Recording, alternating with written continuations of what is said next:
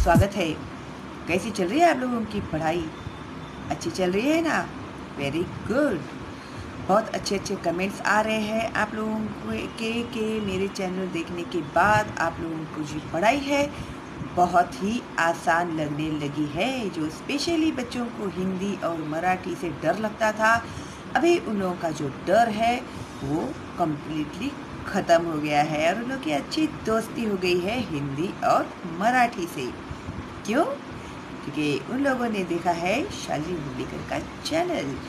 और मैं उन लोगों के और भी कुछ थोड़ी डिफ़िकल्टीज है, उन्हें दूर करने के लिए भी मैं एक वीडियो अपलोड करने वाली हूँ ताकि बच्चों को प्रॉपरली गाइडेंस मिले कि उन्हें किस तरह से फिर से मराठी और हिंदी में पक्का करने के लिए, उनका मराठी और हिंदी का कन्फ्यूज़न दूर करने के लिए एक वीडियो अपलोड करने वाली हूँ। तो उनका कॉन्फिडेंस लेवल और हाई होगा।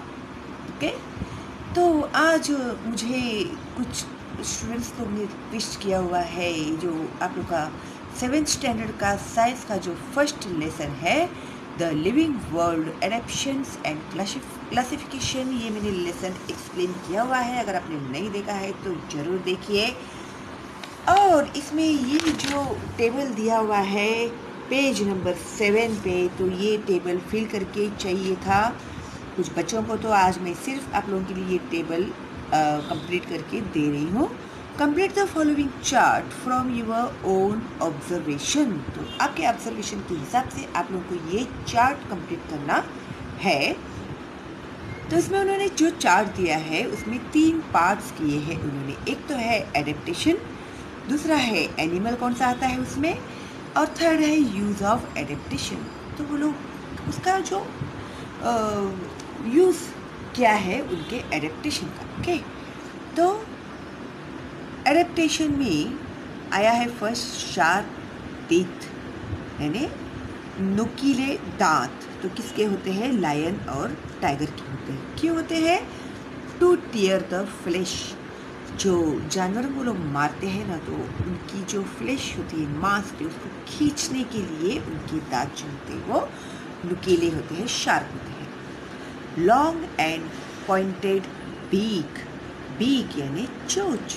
लंबी और पॉइंटेड चोच। किसकी होती है? तो king Fisher.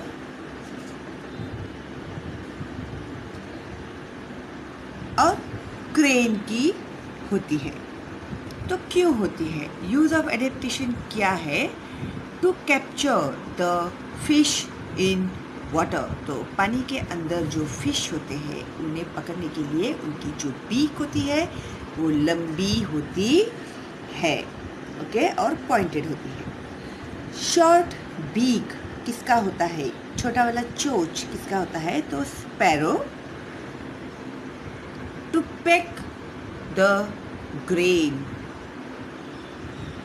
long and sticky tongue लंबा और चिपचिपा टंग किसका रहता है? तो गार्डन लिजर्ड और फ्रॉक का रहता है।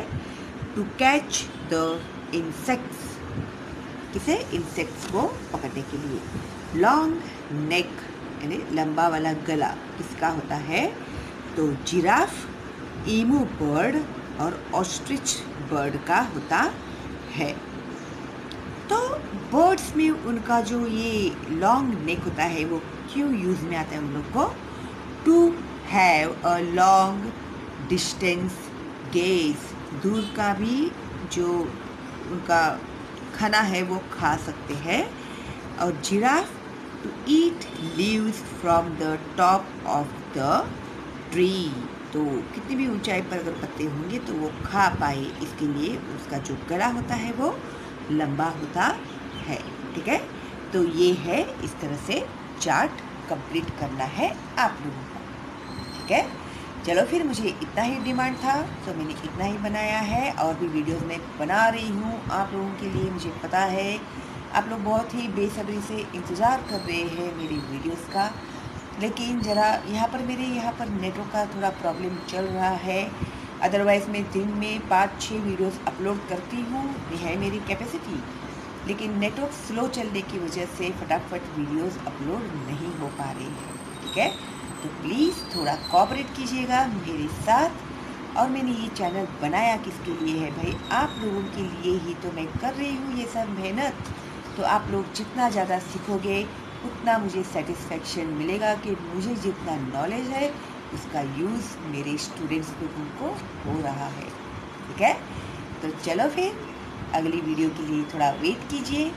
All the best and bye bye